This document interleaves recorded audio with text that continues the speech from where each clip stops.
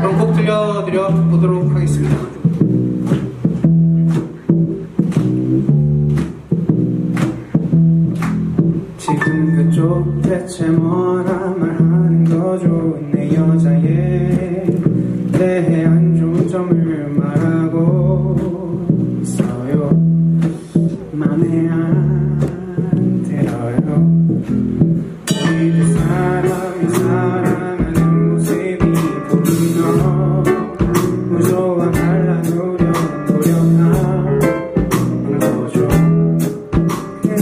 here.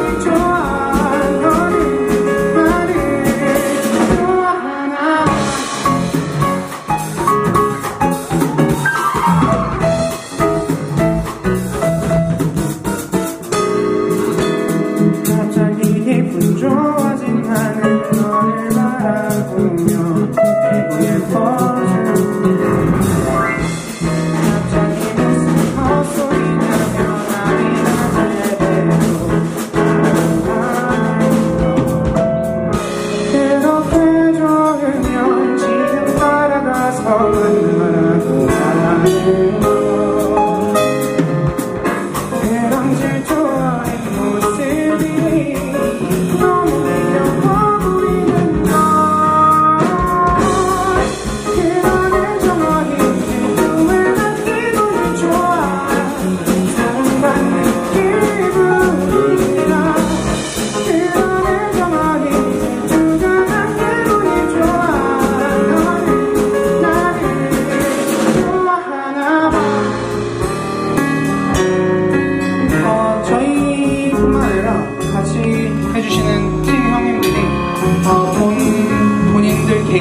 실력이 굉장히 출중하시거든요.